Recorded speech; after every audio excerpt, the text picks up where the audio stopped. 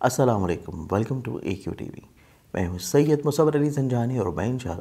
पहली से लेकर सात मार्च तक कराची में मौजूद हूँ आप लोग मुझे अपॉइंटमेंट लेके कराची के शहर में मिल सकेंगे।